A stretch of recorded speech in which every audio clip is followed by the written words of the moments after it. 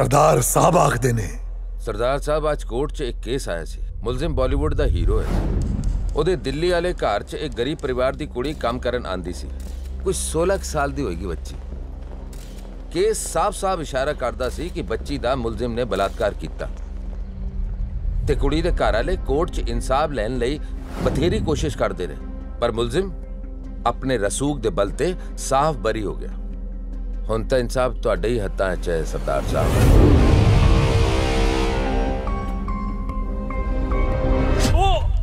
Cut cut cut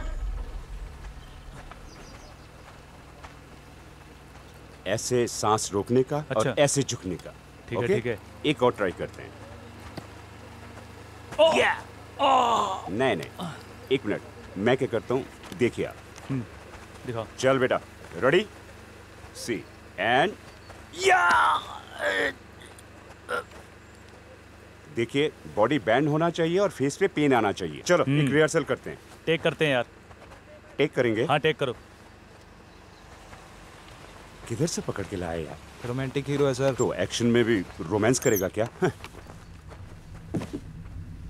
Ready stand by and roll sound roll camera And action! Oh. Oh. Oh. हिम्मत सिंह जो सरदार साहब दे इशारे थे किसे दी जान ले भी सकता है ते अपनी जान कुर्बान भी कर सकता है सरदार साहब क्या आदमी है डॉन है क्या